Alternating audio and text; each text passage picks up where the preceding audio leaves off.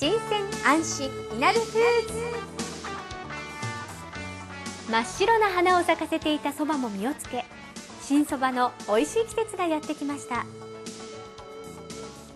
今年市内で栽培されたそばは県内最大規模の60丁部。いなべ市ではそばを通じて地域おこしを加速させようとさまざまな取り組みを行っているほか今年そばの生産者たちが市の農林商工課の協力を得ていなべ市そば生産部会を立ち上げました。早速会長の伊藤勝さんにお話を伺ってみましょう。いなべのそばをブランド化してえー、っとまあ販売したいということで今年からいなべのそば生産者部会という部会を立ち上げました。最終的には工場を持って生麺とか乾麺とかそういう製品を売り出していきたいと思ってます。8月中旬頃からまかれたそばは75日ほどで収穫。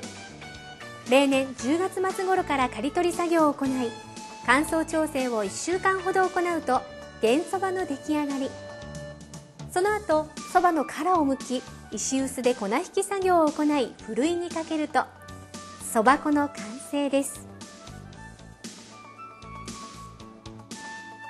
そば打ちの実演はそば打ち認定会において段位を取得している坂口正人さんです。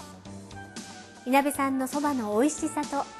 自分で打ったそばを食べることの楽しさを広めようと日々頑張っています。皆さんもそば打ちに挑戦してみてはいかがでしょうか？